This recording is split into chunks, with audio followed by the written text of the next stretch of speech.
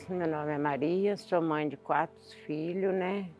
Tenho três comigo ainda e um eu fiz o presente a Deus.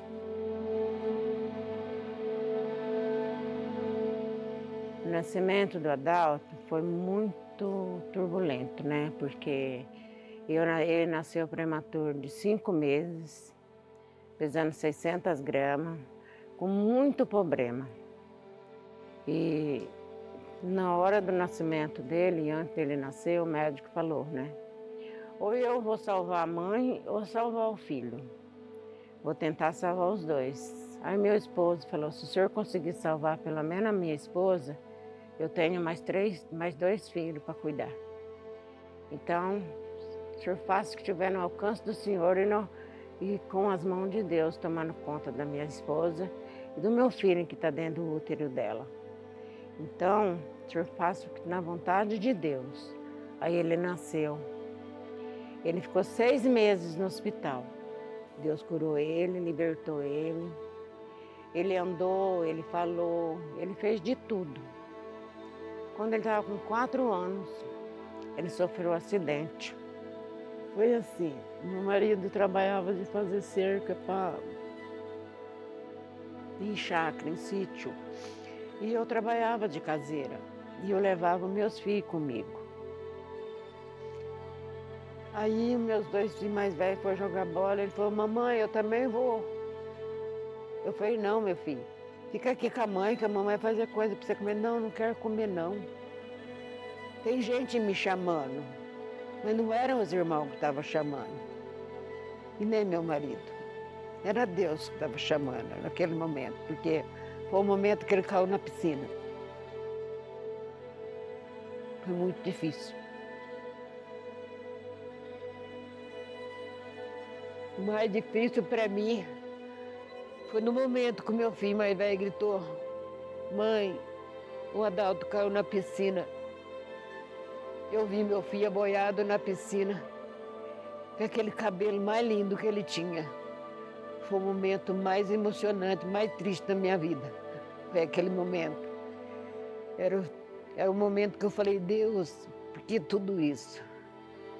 Mas no mesmo momento eu falo, eu falava, nada é impossível para Deus, é impossível para nós, mas para Deus nada é impossível. Faz 30 anos que aconteceu, 32 anos que aconteceu tudo isso. Mas para mim parece que foi ontem. Deu choque cerebral nele, ele ficou mais três anos numa cama vegetando. E ali foi assim. Dois dias em casa, quatro, cinco no hospital. Dois dias em casa, quatro, cinco no hospital. Eu não sabia se quem sofria mais eram meus dois filhos mais velhos ou se era ele. Eu sabia que era o meu filho que estava sofrendo mais, porque ele era um anjinho, né? E eu sempre fazendo promessa, pedindo a Deus para curar meu filho.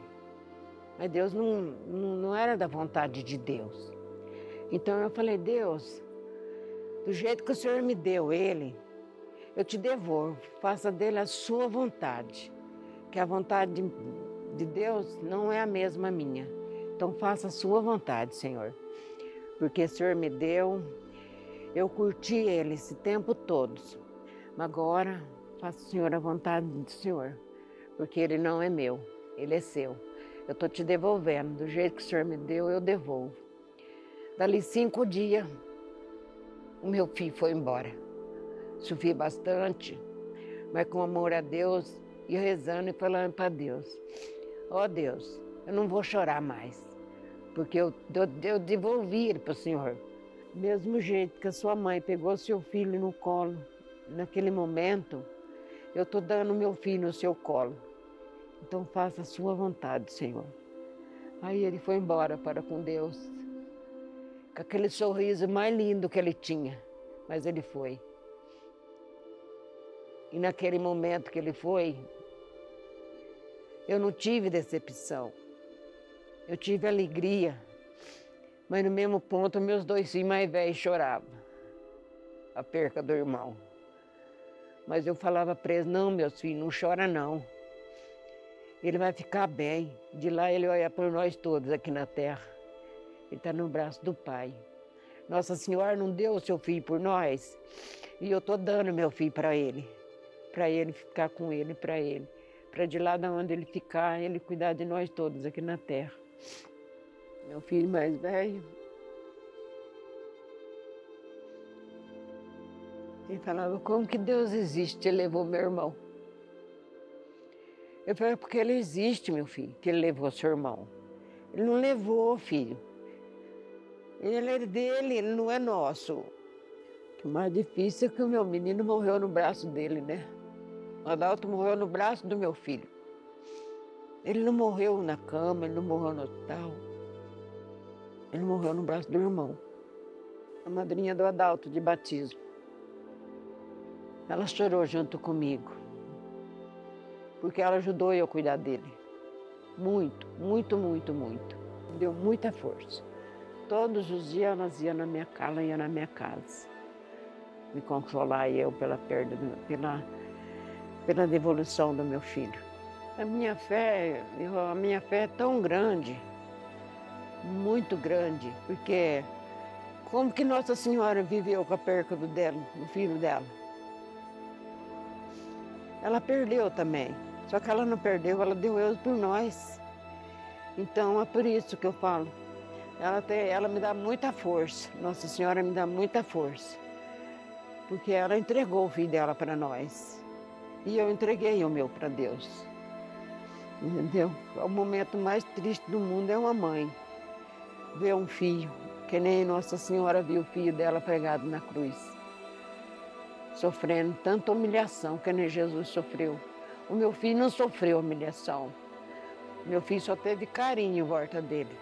E Jesus, todos os dias eu pegava a Bíblia. Com a Bíblia na mão eu pedia. Que Nossa Senhora foi muito forte, que ela me desse a mesma forte, força para mim que ela, que ela teve da perda, de ter dado o filho dela por nós. Assim foi a minha vida da perca do meu filho. Momento algum eu perdi a minha fé de um dia poder também encontrar meu filho. Tenho muita esperança que ele vai estar lá me esperando também. Porque na casa do nosso, do pai, tem muitas moradas. Para todos nós, né? Que, que ele chama, né? É, não é só para um, é para todos, né? Na casa do pai tem muitas moradas.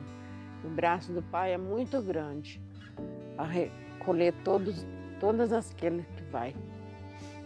Eu sou a ressurreição e a vida. Quem me segue não andará nas trevas,